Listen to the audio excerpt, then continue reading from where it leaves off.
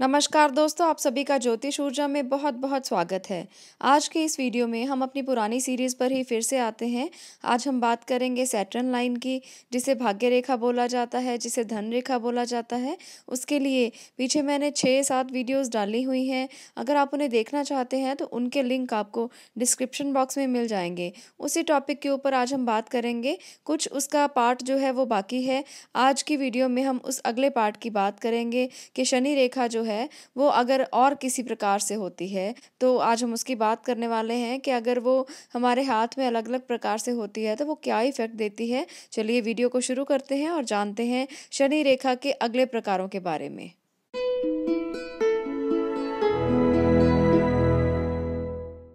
पिछली वीडियो में हमने बात की थी कि अगर हमारी भाग्य रेखा जो है, वो माउंट्स पर इस प्रकार से जा रही हो इस प्रकार से ये शनि माउंट के ऊपर जा रही है।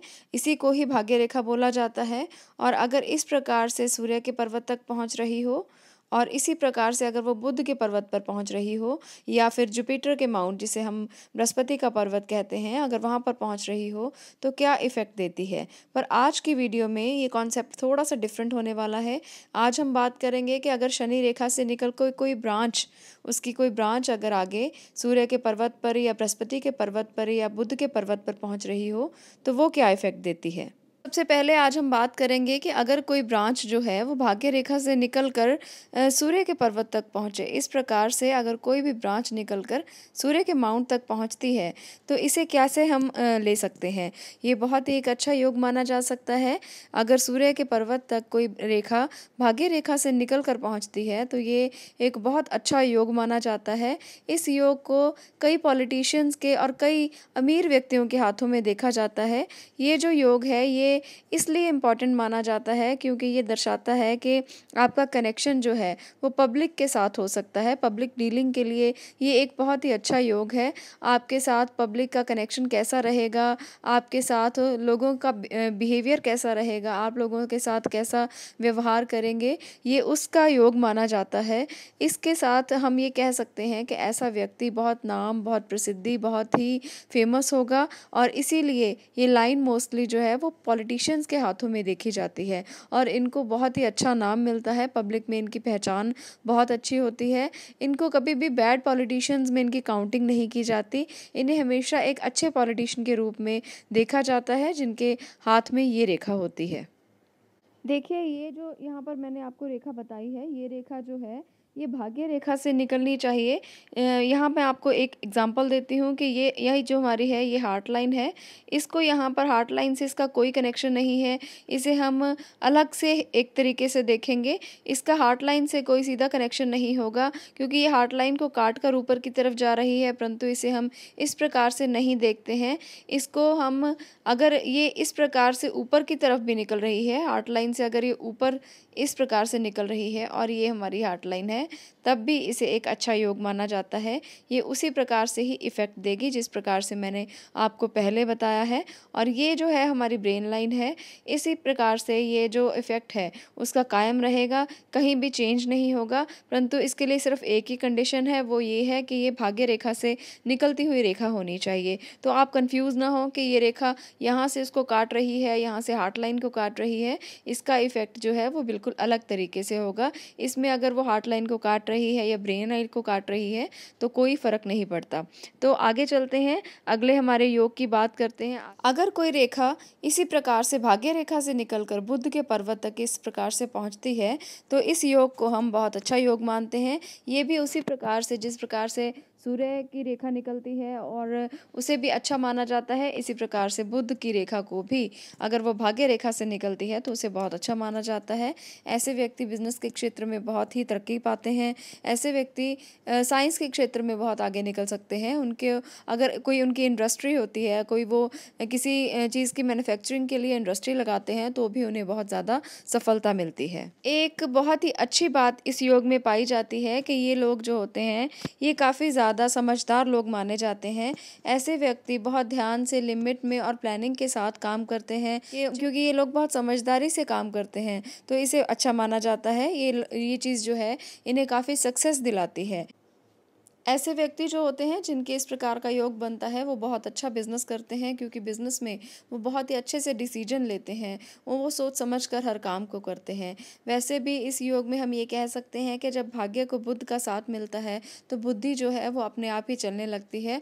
और इसके साथ ही अगर बुद्ध को भाग्य का साथ मिलता है तो भी एक अच्छा योग निर्मित होता है। इसलिए इस योग को हम काफ़ी अच्छा मानते हैं। चलिए, अगले बात करते हैं, अगले योग की। अगला हमारा योग इस प्रकार से है। ये हमारी हार्ट की लाइन है और ये हमारी जो है, वो है भाग्य रेखा और अगर भाग्य रेखा इस प्रकार से हार्ट की लाइन से जुड़ जाती है जाकर, इस प्रकार से यहाँ मैं आपको ड्रॉ करके बता रही हूँ।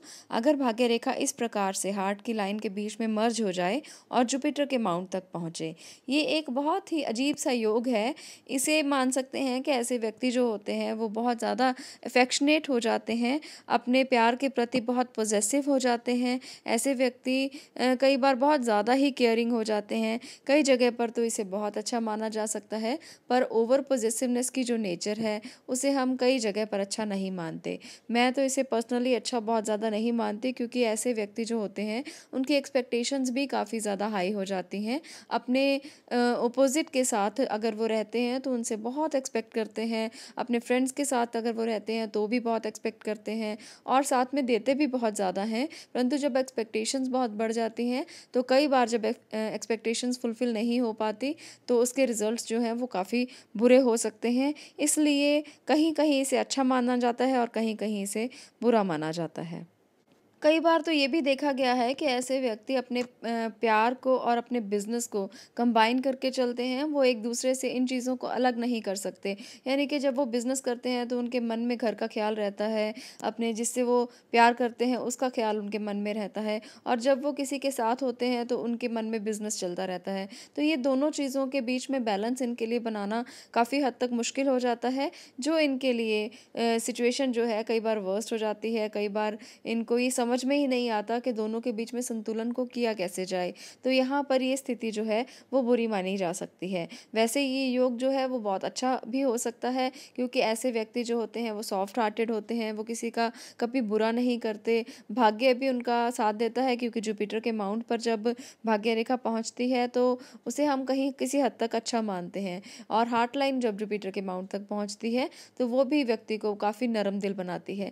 तो ये जो योग है, ये बाकी के साइंस पर भी डिपेंड करेगा, बाकी रेखाओं पर भी डिपेंड करेगा। अगर बुद्ध का पर्वत जो है, वो अच्छे तरीके से डेवलप है तो ऐसे व्यक्ति को बैलेंस मिलने के चांसेस जो है वो बढ़ जाएँगे।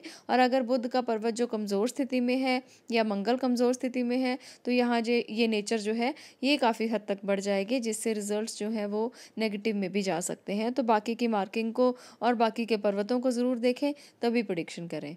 चलिए आगे बात करते हैं आज के लास्ट सेटन लाइन के टॉपिक की। हम देखते हैं कि कई बार सैटर्न लाइन जैसे हमारी इस प्रकार से शनि की रेखा जा रही है और छोटी छोटी बारीक बारीक रेखाएँ निकलकर इस प्रकार से शनि की तरफ़ कहीं ना कहीं से निकल रही होती हैं और कई बार वो उसको टच कर रही होती हैं, कई बार वो उसको क्रॉस करती हैं।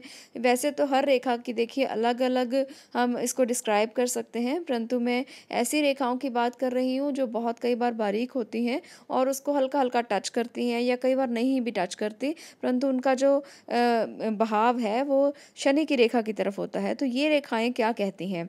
ये जो छोटी छोटी रेखाएँ हैं, वो दर्शाती हैं कि आपके ऊपर कई सारे लोगों का कंट्रोल है और आपके ऊपर कई सारी ऐसी टेंशन्स और ऐसी प्रॉब्लम्स आपको फेस करनी पड़ सकती हैं, जो आपके करियर को, आपके भाग्य को काफ़ी हद तक स्लो डाउन कर सकती हैं। और आपको इनके ऊपर विजय प्राप्त करनी होगी, नहीं तो आपकी लाइफ जो है, वो काफ़ी रुक जाएगी। कई बार देखा गया है कि ये जो रेखाएँ हैं, वो एक प्रेशर प्रेशर क्रिएट करती हैं, जो आपको भाग्य को आगे नहीं बढ़ने देता। इसलिए इन लाइन से बच के रहने की ज़रूरत होती है और इनको समझने की ज़रूरत होती है। ये बहुत छोटे छोटे ऑब्स्ट्रैकल्स हैं, बहुत छोटी छोटी प्रॉब्लम्स हैं, जिन्हें हम फेस करते हैं और कई बार हम इन्हें फेस नहीं कर पाते। हमारे में इतना हौसला, इतने गट्स नहीं होते। परंतु अगर हम इस बात को हाथ पर देख कर समझ लेंगे कि इन छोटी छोटी प्रॉब्लम्स को फेस करके हम लाइफ में काफ़ी तरक्की हासिल कर सकते हैं तो हमें इससे निजात मिल सकती है इस प्रॉब्लम से। आप, आपको हाथ में देखकर इसे समझना ज़रूर होगा, क्योंकि ये एक मेजर प्रॉब्लम बन सकती है। देखने में काफ़ी छोटी लगती हैं और हमें लगता है कि ये हमारी भाग्य रेखा को टच नहीं कर रही तो ये प्रॉब्लम क्रिएट नहीं करेंगी। परंतु जब किसी रेखा का जो बहाव है, वो भाग्य रेखा की तरफ़ होता है, तब भी वो प्रॉब्लम दे सकती है। तो इन छोटी छोटी दिक्कतों को आप अपने हौसले से, अपनी विल पार से और छोटे छोटे उपायों से ठीक कर सकते हैं। तो इसलिए इसका बहुत ज़्यादा ध्यान रखें, अगर कोई छोटी छोटी रेखाएँ आपकी भाग्य रेखा की तरफ़ आ रही हैं तो इन्हें आप बिल्कुल भी नज़रअंदाज ना करें, इनका इलाज करने की कोशिश करें, कुछ अपनी विल पार के साथ और कुछ अपने उपायों के साथ। तो आज की वीडियो में इतना ही। आज हमने बात की है कुछ भाग्य रेखा के अगले टॉपिक्स के बारे में। आने वाली वीडियोज़ में हम इसे कंटिन्यू रखेंगे। आज के लिए इतना ही। बहुत बहुत धन्यवाद।